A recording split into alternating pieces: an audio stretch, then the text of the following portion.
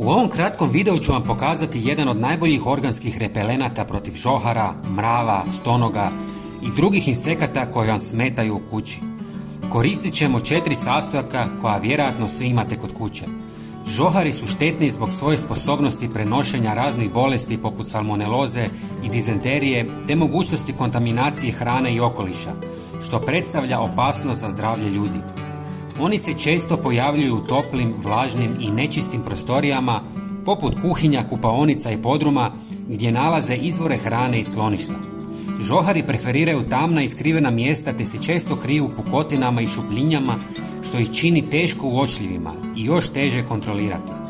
Važno je napomenuti da brije bilo kakvih repelenata, sve površine u kući ili stanu moraju biti čiste i bez imalo ostataka hrane, također i hrane od kućnih ljubimaca, jer njihov poriv za hranom je izuzetno jak. Prvi sastojak je lovorov list kojeg ćemo usitniti kako bismo ga mogli pomiješati s vodom. Lovorov list je dobar protiv žohare, sadrži spoj eugenol koji ima repelentni učinak na ove štetočine. Njegov intenzivan miris odbija žohare i može ih spriječiti da se nastane u prostoru. Osim lovora možete koristiti i klinčiće. Ja ću dodati i njih jer ih imam. Prijatelji, napišite nam odakle nas gledate. Volim upoznavati ljude iz cijeloga svijeta.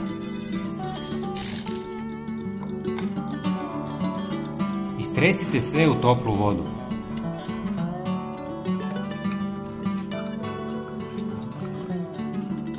Zatim dodajte pola žlice češnjaka u prahu koji je učinkovit repelent za žohare jer sadrži sumporne spojeve koji imaju jak miris koji odbija ove štetočine. Također, češnjak ima antibakterijska svojstva koja mogu pomoći u sprečavanju širenja bolesti koje žohari mogu prenositi. Zatim dodajte 100 ml octa koji je popularan kao repelent za žohare zbog svog jakog mirisa koji ih odbija, te zbog svojih svojstava koja mogu oštetiti njihov unutarnji sustav. Ocat djeluje kao dezinficijens, čime pridonosi održavanju higijene i sprečavanju širenja bolesti koje žohari mogu prenositi. I zadnji sastojak je nim prah, koji je napravljen od sušenih listova, sjemenki ili kore drveta nima, koji se koristi u tradicionalnoj medicini i kao prirodni insekticid. Ovaj prirodni sastojak djeluje tako što ubija nimfe i sprečava odrasle žohare da polažu jaja.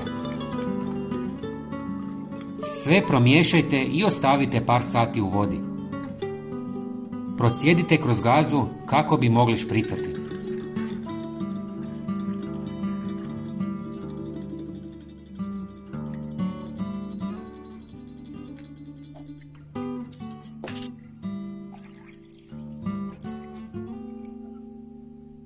Špricajte gdje god vidite žohare.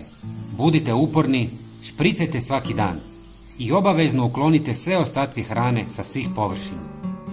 Prijatelji, pogledajte i naš sljedeći video koji se nalazi na vašem ekranu.